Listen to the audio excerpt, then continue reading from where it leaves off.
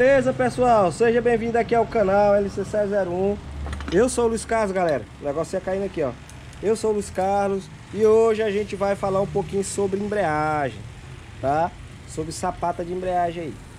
Eu creio que muitas vezes você fica com a dúvida quando você desmonta. Eu, eu mesmo já tive muito isso também já, tá? E aí você fica na dúvida qual lado você monta a embreagem? Porque ela tem dois lados, tem esse lado e tem esse outro lado aqui. Galera, eu vou fazer um videozinho simples para ajudar vocês aqui, tá? Quando você for montar a, a, a sapata de embreagem, qual posição você montar, tá? Eu vou tirar tudo aqui. Tá, digamos aqui, galera, ó. Essa sapata aqui, ela é de ferro, tá? Ela tem essa lonazinha aqui, essa fibra. Eu particularmente gosto bastante dessa aqui, porque ela é pesada. Você acelera pouco, ela já abre logo, tá? Essa daqui é uma roçadeirazinha 43 cilindrada, a Tech Machine. Eu fiz um vídeo, ou eu vou postar ali antes ou depois, eu não sei ainda, galera. Eu só sei que esse vídeo aqui vai ficar bacana para ajudar vocês aí. Vamos lá. Bom, ó, vou desmontar aqui. Luiz, como é que funciona? Qual lado colocar da sapata de embreagem? Pessoal, se você for olhar, deixa eu tirar aqui. Vou tirar aqui a vela. Ó, aqui é o seguinte, ó, mas antes de eu mostrar aqui, pessoal, quero convidar você a se inscrever no canal, deixar o like aí, tá? Ativar o sino para quando a gente postar vídeos novos, como esse ou de outros outros sintomas aí, você ficar por dentro de tudo que a gente tá passando aqui. Bora lá.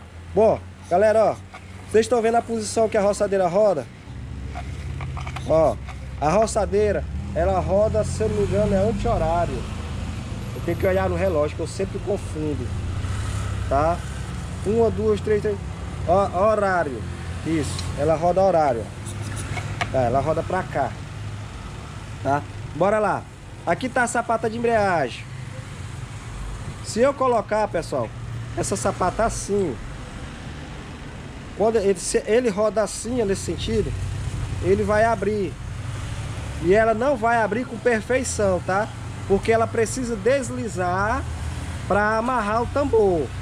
Tá? O tambor de embreagem, essa sapatinha aqui, ela fica dentro de um tambor, um tamborzinho de embreagem. Tá? Então, ela não é nesse sentido, tá, galera? Ela é nesse sentido. Ela abre assim, ó, o próprio peso abre ela aqui, ó. Ó. Quando ela começa a trabalhar nesse sentido aqui, ela já abre aqui, ó. Então, ela vai deslizando. Algumas, algumas tem essa setinha aqui, ó, mostrando a posição.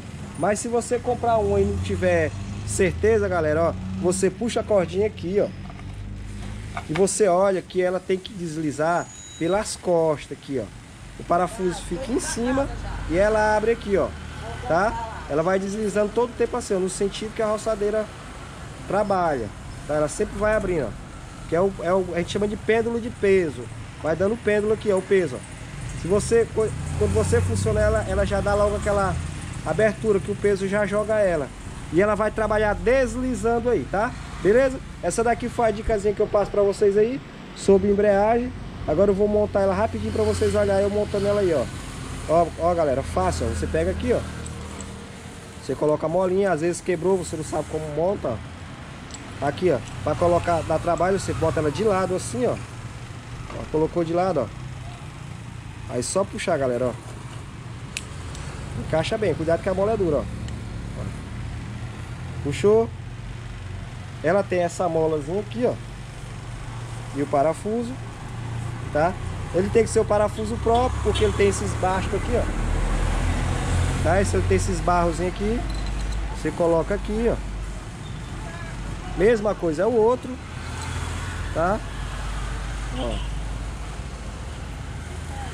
Colocou, pronto. E aí vem aqui, ó.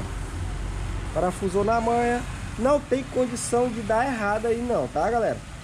E aí é o seguinte, se você colocar, é sua máquina tá, tá bacaninha, tá com a força perfeita, você monta ao contrário, às vezes ela fica, ela fica rateando aí, ela não fica dando aquela força 100%, tá? Você, rapaz, a minha máquina tá sem força depois que eu botei a embreagem, pode ser que ela esteja montada errada, tá pessoal? Uma dicasinha que eu passo pra vocês aí, beleza? Pronto, ó.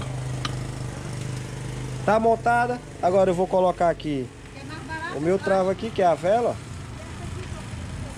Pra gente poder dar o, dar o aperto final aí, ó. Lembrando aqui que aqui é igual roda de carro, é só um apertozinho bacana. Não precisa aquele aperto bruto não, pessoal, porque senão ele faz é quebrar. Ó. Travou.